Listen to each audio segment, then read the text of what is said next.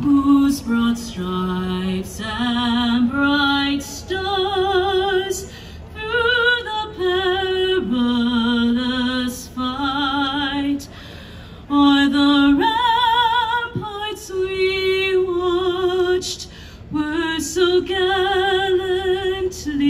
streaming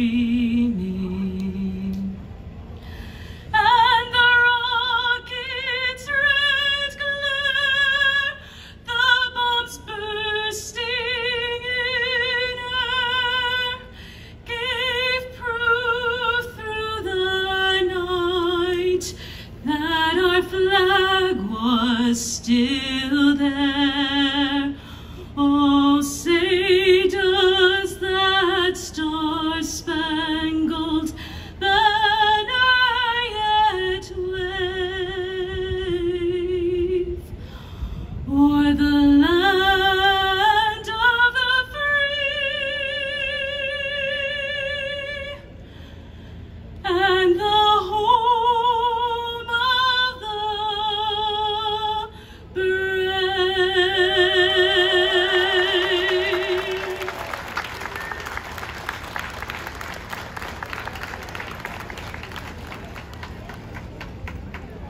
Thank you, Ana El. And please